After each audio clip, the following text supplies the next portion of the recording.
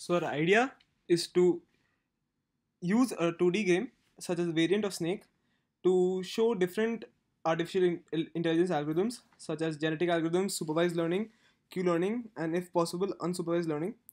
We will try to uh, create a visualization for all the algorithms such that it is intuitive for students to understand how the algorithm steps uh, goes steps by step and uh, completes the process.